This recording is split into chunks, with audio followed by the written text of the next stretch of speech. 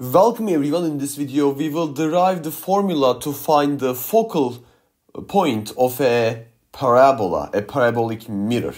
Now let me draw the mirror and then I will have a couple of words uh, to, uh, to say about this before we start the derivation. So let's say that we have a coordinate system and this is important that we are using a coordinate system because we want to derive a formula for the parabola as well before finding the focal point. And let's say that we have this parabola here. And I mean, I choose the origin as the lowest point of the parabola. Of course, you could have a parabola like this as well. It wouldn't matter, but I choose to work with positive, uh, positive y values. That's why I'm doing this. Now, I claim that if you have any light beam that is parallel to the axis of the parabola, so parallel to the y-axis axis in this case, if you have any light beam parallel to this, I claim that it will be reflected to one point. It will pass through this focal point. No matter the light that you're sending, maybe you send another one like this, I claim that it will always pass through this point and I will call that point, let's say it is this point, F, the focal point. Of course, we basically want to find the distance between this point and the origin, which we will call the focal length. And a couple of words here, you might be saying, I mean, this isn't that interesting. We had we had spherical mirrors as well, and you know, we had concave, convex mirrors, and in those, I mean, we also had a focal point. So why is this that important? Well, in fact, in those, and if you know the derivation of those, and in fact, I have the derivations of, derivations of those in this channel. You can access those videos from the cards right now and also from the descriptions part. So if you know the derivation for the convex and concave mirror and the, their focal length, you know that that is based on an approximation that the light is coming from a point that is, you know, close to the uh, close to the axis of the mirror. Okay. That's what you assume. You're assuming that the light beam coming is close to it. But in this case, we don't make that assumption. So in fact, this will this is this is basically a more well, this is a real focal length, focal point. Let's say that, okay? I hope this makes sense. In that one, it is just a simplification. We are making assumptions that if the light beam is coming uh, near the uh, near the axis of the mirror, we can assume it to always land in the same point after reflection, but that is in fact just an approximation. But for this one, it is correct and it isn't just correct for uh, for light beams that are close to the axis. You can have light beams that are away from the axis, but they need to be parallel to the axis, okay? So how do we do this? And by the way, this is called the principal axis, I think. I might be wrong though. I think it is called that though. Okay. The principal axis, axis of the mirror. I mean the same thing when I say those two words, two two phrases.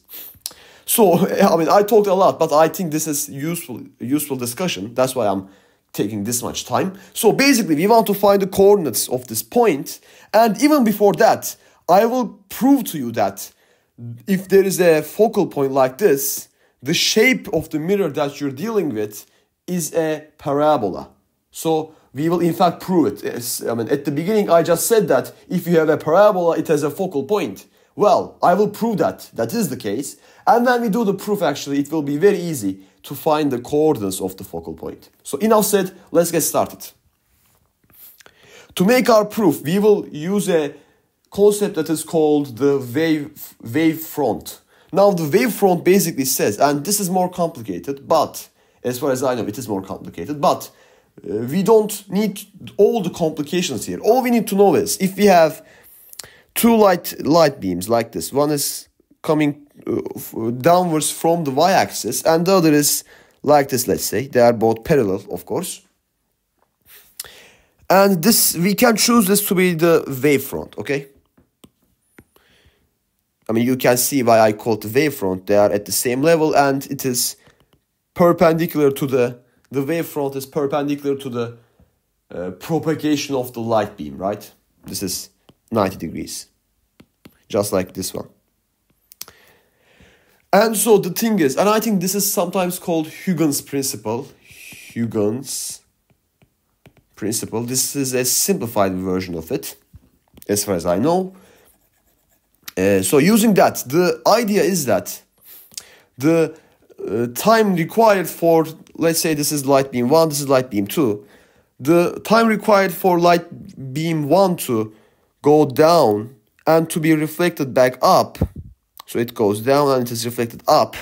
Time required for this is the same for 2 to go down and be reflected and to return to the same level that we have here, okay? So Huygens principle, the this principle of this idea of wavefront tells us that the uh, both of these light beams will have will take the same time once they start from this point, once they leave that point and come back to it, okay? it takes the same amount of time. This is what the principle is telling. So using that idea, let's do it. So we know that the time is equal to the, this, to the distance you cover divided by your speed, which is the speed of light in this case. And since I mean we have light beam 1 and light beam 2, but they are just numbered differently. They are basically the same thing. They have the same speed and they have the same time, which means that they travel the same distance actually. So let's say it like this actually. T1 is equal to T2. And this is sometimes also called that the optical paths are the same, okay?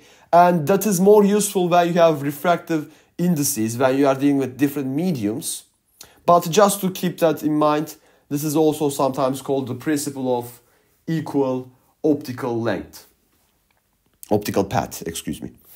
So x1 is equal to x2 then, because the speeds are the same and the, and the time is the same, so the distance covered must be the same.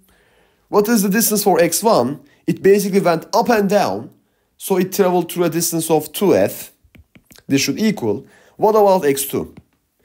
Well, if I mean, if we're trying to find a formula for y, remember? For the function. So this is the uh, height y then which means that this distance, the first, first part of the journey, it's basically f minus y, then you have the plus, you have this part. And it will be, you have the x here, so you have the x, and you will square it. We are, we are using the Pythagorean theorem, in fact. And the other leg of the right triangle, this right triangle, this part is just we as uh, just like we saw a couple of seconds ago it is f minus y we square it and take the square root using the pythagorean theorem so this and this will simplify we will have f and so and also if we toss this to the other side we have f plus y equaling the square root business so why don't we get rid of them we square both sides and we get rid of the square root. That was the goal. And let's open the parentheses. This is f squared plus 2fy plus y squared equaling x squared plus f squared minus 2fy plus y squared. And here f squares will simplify, y squared will simplify. So we get x squared equals 4fy, which means that y is equal to x squared over 4f. And as you can see, this is in fact a formula for a parabola. So we in fact prove that if there is a focal point for any point on the uh, on the curve, then this curve should be a parabola.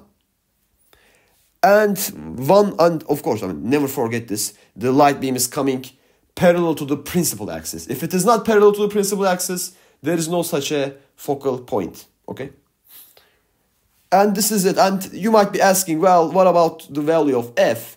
Of course, now we can model this as a as a parabola since we just proved that it should be a parabola. This is ax squared, let's say. a here is the coefficient of x squared, as you can see. And then this, let's write it here. This directly shows us that a should equal should equal 1 over 4f.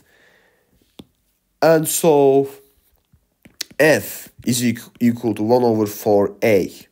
This is the focal length. So maybe you are given a parabola like this and you're told that the formula is, I don't know, 2x squared, immediately the focal point will be 1 over 8. I mean, it will be here, 0, and the x is 0, of course, the x coordinate, and the y coordinate will be 1 over 8. Of course, you need some uh, dimensions as well. I mean, if you're not provided some units, you can't do this problem. So yeah, you are probably given some units if you are asked this in a physics problem. Anyways, I hope this video was helpful. If you have any questions, please add them in the comment section. I hope to see you in another video. Until then, take care.